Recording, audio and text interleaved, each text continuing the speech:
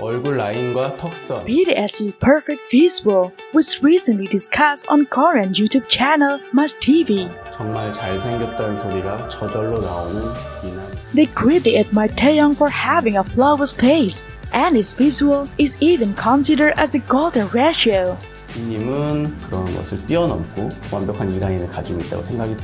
Meanwhile, since Taehyung has sent his morning greeting with this blue reporter of the sunrise to his Instagram story, it has cured a bit of longing of fans. He really loves sunrises. Apart from that, ARMY is currently integrated by a porter of Jungkook with Michael D. Ratner, the CEO of OBB. And Jungkook visit the OBB studio has sparked speculation among fans about a possible new project he might be working on.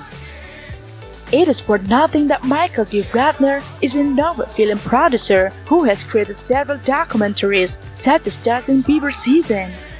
If it is true that Jung is working on a music film or documentary, it will be undoubtedly be epic.